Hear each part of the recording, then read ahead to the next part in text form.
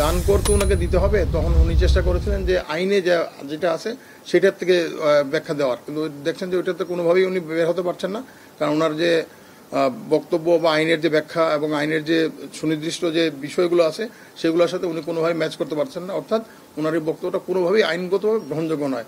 সেই কারণে উনি বিষয়টাকে ঘুরিয়ে অন্যদিকে নিতে চেয়েছিলেন, কিন্তু সেটা উনি পারেন নাই।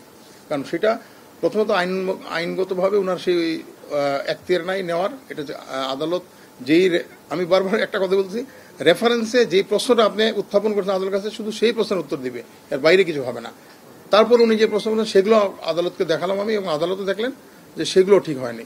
এই সেগুলো ঠিক না, আইনের বিধিবিধান অনুযায়ী সে যে আমাদের আয়কর কর্তৃপক্ষ যেটা ধার্য করেছেন, সেটাই সঠিক।